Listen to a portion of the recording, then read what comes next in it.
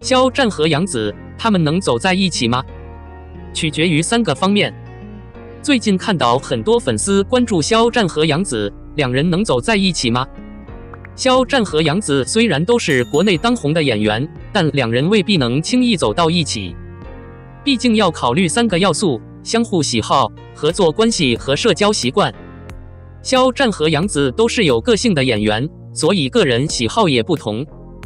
尽管他们都有共同的作品，但他们一定有着不同的兴趣，从而形成了自己的个性和特点。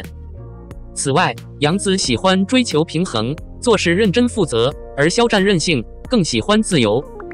因此，这就需要他们在共同生活的过程中保留自己的喜好。两人的合作经历也是影响能否传承的重要因素。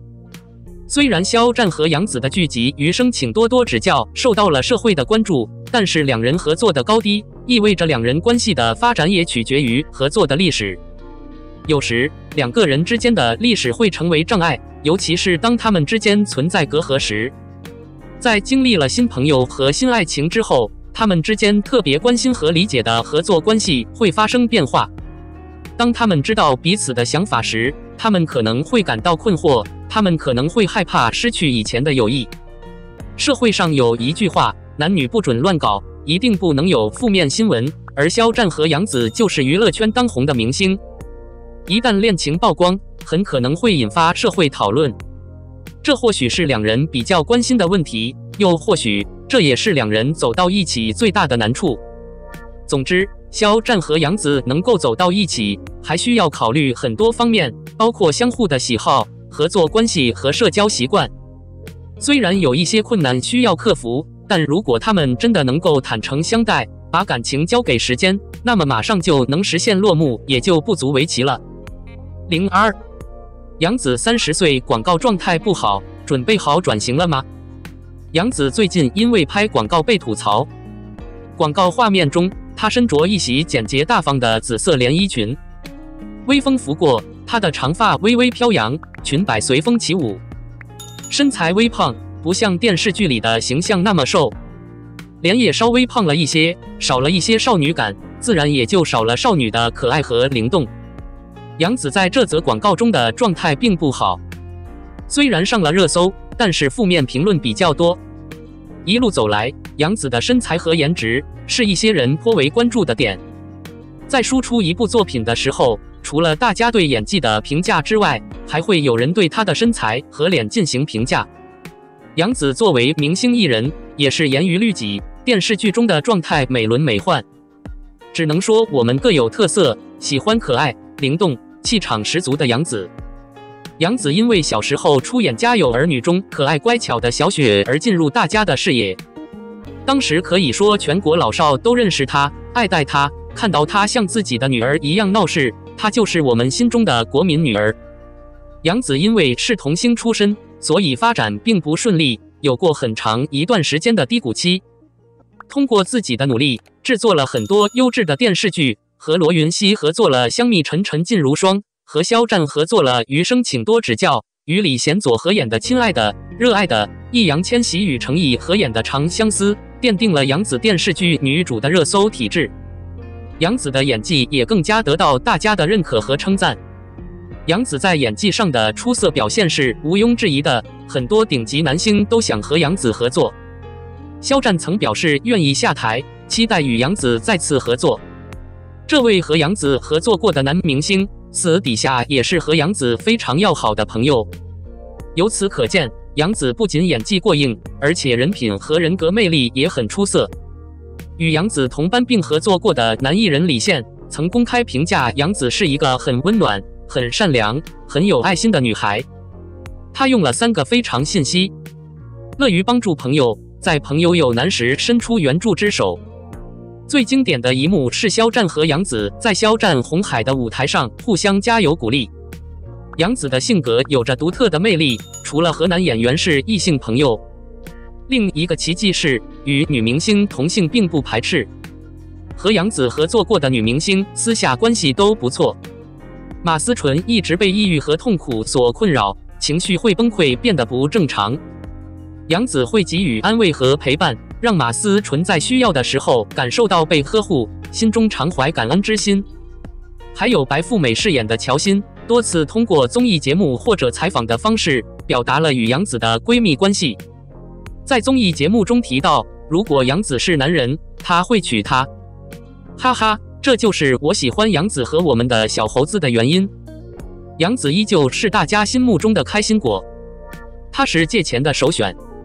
在采访中，她问过很多明星，如果向女明星借钱，最先想到的是谁？大家的答案是杨紫。杨紫的朋友圈很火爆，让娱乐圈的每一个人都想开心。她不仅可以自娱自乐，还可以给别人带来欢乐。从演戏到生活，她都是开心果。这样的人，演技出众，影视作品制作质量高，性格活泼，魅力独特，被大家喜爱的杨紫，不会因为一个烂广告而影响她的商业价值。因为我们的小猴子只会调整好，会以最好的状态出现，给大家带来更多优秀优质的作品。广告拍摄会根据广告主角从场景、妆容、发型、服装搭配等方面进行量身定制。只能说不适合杨紫，没有展现出杨紫最好的一面。而且每个人的审美不同，简单大方也是美的。我们杨紫不需要刻意去改造。在接下来的日子里。相信杨紫会继续脚踏实地的拍电影，为大家呈现更好的作品。加油，杨紫！零三，杨紫的代言让我更加确定，无论什么时候，她都是下雪宋丹丹字字珠玑。千篇一律的丸子头，一字肩红毯路，春晚表演毫无亮点，除了甜宠剧，简直就是仙侠剧之作。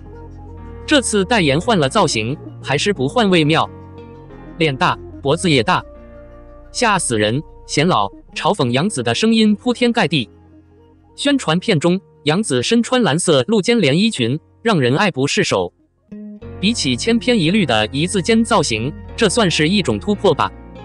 发型上也有变化，以前是刘海或者丸子头，现在走的是成熟知性女人路线。但是黑色长直中分不太适合她。可能精图还不错，但是动图放大了杨紫所有的缺点，尤其是脸上的刀痕、善良和年轻的矛盾，每一个镜头的模样都不一样。爱脸改变是及时的，即视感，这是杨紫给我的感觉。但杨紫把头发扎起来后，这些缺点都消失了，胶原蛋白瞬间回归。以前披散的头发像杜华，现在扎起整齐的马尾是杨紫，也就是夏雪。没错。这次代言让我更加确定一件事：杨紫的发型可能只会停留在丸子头和一字肩，其他发型会放大杨紫的脸型缺点。这也说明杨紫永远是夏雪。杨紫有演技，《决战长沙》香蜜沉沉烬如霜，亲爱的热爱的都是杨紫演技的证明。但是杨紫的演技只能在这三部作品中轮换。《保卫长沙》中的杨紫是个扎着双马尾的女学生，可爱又有点叛逆。有点像《家有儿女》中的夏雪，亲爱的、热爱的中的杨紫，是一个留着利落刘海的天才少女，认真执着又善良。与正在拍摄的《一百九十九次恋爱》有异曲同工之妙。唯一惊艳的是杨紫的哭戏，要么是甜宠剧，要么是童话剧，要么是童话剧，要么是甜宠剧。杨紫在一个模组待得太久了，她的气场也在不断的消耗着，而且。除了杨紫的哭戏占了很大比重之外，其他人都是靠设定的角色拿分红。目前已经是山穷水尽了。在过去的两年里，杨紫想要摆脱夏雪的标签，但她却离同质化的角色和作品越来越远。或许杨紫可以靠着角色红利走下去，但同样的妆容却能让杨紫重回夏雪。这一次的代言，杨紫翻车了。披散的头发像个善良的 AI，低马尾青春靓丽，还秒变下雪。难道杨紫只能看一眼就黑？现在想来，或许宋丹丹当年的评价是对的。在美女遍地的娱乐圈里，杨紫的颜值只能说是平平无奇，她竞争不过。当然，在后来的节目中，宋丹丹也为当年的评价道歉，但宋丹丹只是看到了杨紫的演技，并没有意识到杨紫一直都是夏雪。当然，杨紫本身就是演员，代言只是她的副业。